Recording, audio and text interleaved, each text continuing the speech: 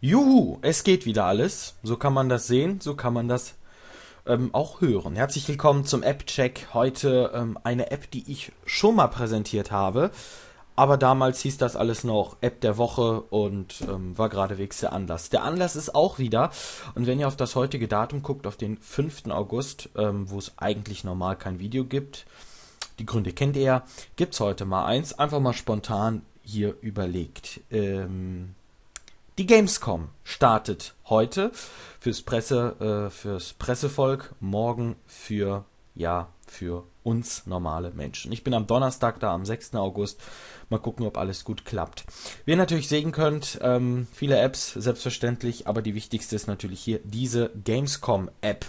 Ja, die offizielle App für die Spielemesse natürlich alle Infos, alle Produkte, natürlich Trailer und vieles, vieles mehr. Auch natürlich Voting für ähm, für den Award und ihr könnt natürlich sehen, was hier alles so dabei ist. Need for Speed unter anderem, dann natürlich ähm, The Division, Dark Souls 3, Star Wars Battlefront, Unravel und vieles, vieles mehr. Natürlich hier die Aussteller sind auch dabei, Ubisoft, EA, die Bundeswehr sogar. Stellen die ein Spiel vor? Wusste ich nicht. Nein. Und dann natürlich vieles mehr, auch natürlich die ähm, News selbstverständlich, sowie natürlich auch die Produkte. Die Produkte gucken wir uns als erstes mal an. Die sind natürlich hier in alphabetischer Reihenfolge, kann man das natürlich dann auch schön sehen, welche Spiele beispielsweise präsentiert werden. Hier natürlich Anno 2205. Ich habe gedacht, es wäre Anno 2025 äh, gewesen oder so, aber kann man sich auch irren. Battleborn, dann natürlich vieles Neues von äh, BenQ. Dann sieht man auch hier ähm, vieles Neues, beispielsweise City Skylines wird auch präsentiert. Oh, ich liebe das Spiel. Und vieles, vieles mehr. Dark Souls 3 und so weiter und so fort. Dann könnt ihr jeweils draufklicken. Ich klicke mal auf. Ähm, was könnten wir klicken? Ich klicke mal City Skylines an. Und dann gibt es natürlich hier unten die Information, ne, das Städtebaugenre und so weiter, Images, Videos, Social Media natürlich und so weiter und so fort könnt ihr natürlich euch auch angucken. Dann gibt es natürlich Best Trailer, hier könnt ihr euch die ganzen Trailer angucken, von Star Wars Battlefront über Mirror's Edge Catalyst, FIFA, äh, FIFA äh, EA Sports FIFA 16 und Assassin's Creed Syndicate. Das sind im Moment die einzigen ähm, Trailer, die natürlich dabei sind. Und ihr könnt natürlich Warte, ich habe doch auf Award Voting gedrückt. Ja, dann kommt hier, wenn ihr Award Voting drückt, nochmal zurück auf, den, ähm, auf die Produkte, die natürlich gemacht werden. Die Aussteller hier nochmal im Überblick, selbstverständlich auch hier wieder alphabetisch geordnet.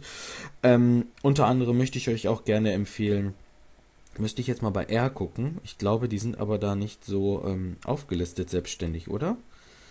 Ähm, die präsentieren eigentlich auch nichts, nur in Merchandise und vieles mehr natürlich nicht. So, gucken wir mal. Ne, sind hier nicht zu finden, aber ich kann euch natürlich sagen, wo natürlich die jeweiligen sind. Wie ihr natürlich auch wisst, ich bin großer Bohnen-Fan und ähm, da gibt es natürlich auch was ganz Besonderes. Nicht bei XMG, nicht äh, hier direkt Halle 8.1 sind sie. Und ähm, da äh, empfehle ich euch auch gerne mal hinzugehen, wenn ihr natürlich Fan der Bohnen seid. Gucken wir uns aber weiterhin die App an. Dann gibt es natürlich die ersten Veranstaltungen, selbstverständlich. Dann wird es den Fan-Contest, das Finale. Gibt es natürlich dann auch noch bei Ubisoft unter anderem. Dann gibt es natürlich noch ähm, viele andere, aber können auch hier drauf klicken und dann hat man auch die Veranstaltungen hier sieht man es im Überblick natürlich von den äh, von der Cosplay äh, Cosplay Village über den Gamescom Campus bis hin zur Outdoor Area ist alles dabei. Jetzt muss ich nochmal zurück. Und natürlich gibt es auch die verschiedenen Partner, die selbstverständlich äh, dabei sind. Goldpartner unter anderem. Hier sehen wir einen Energy Drink. Für, dafür muss ich nicht Werbung machen. Die News selbstverständlich gibt es auch. Selbstverständlich gibt es auch. Und zwar nicht von Computerbild Spiele.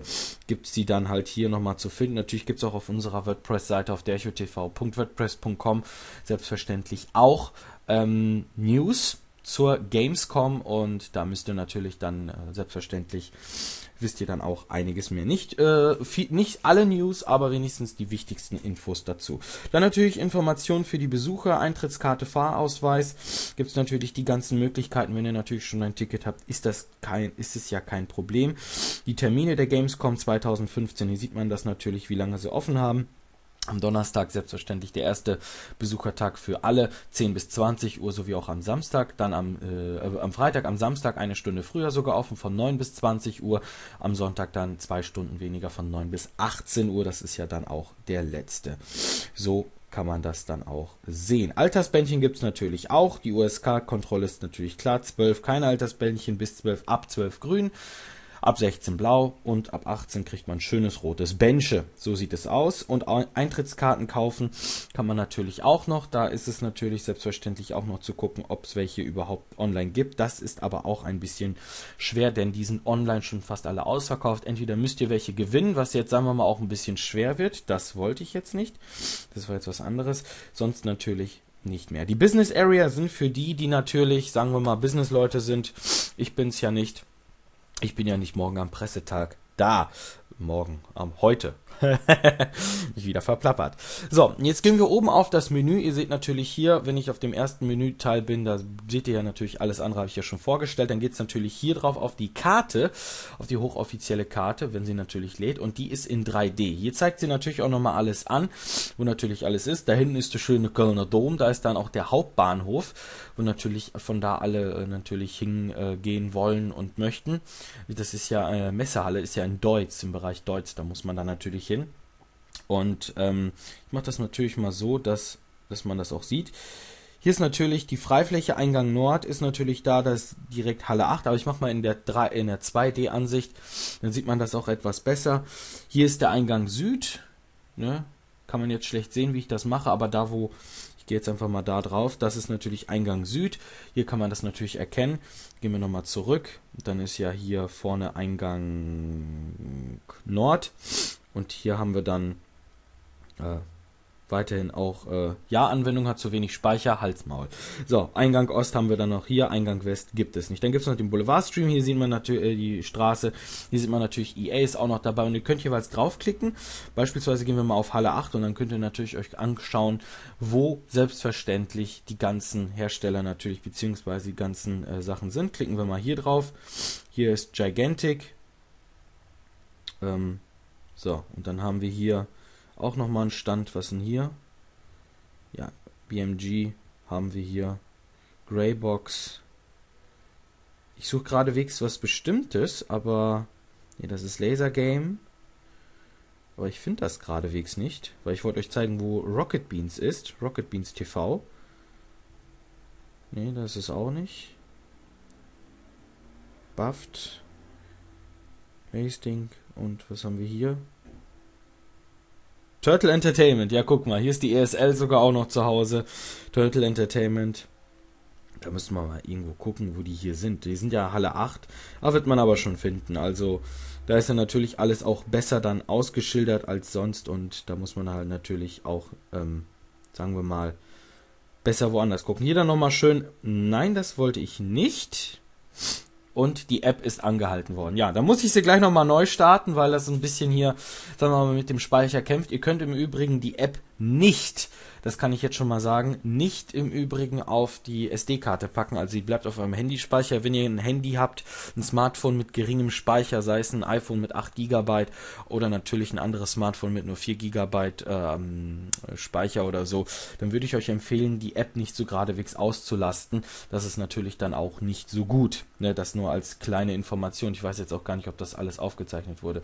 Weil beispielsweise diese 3D-Animation, die sollte man ganz abschalten, weil man dann auch natürlich sehen kann, wo man ist.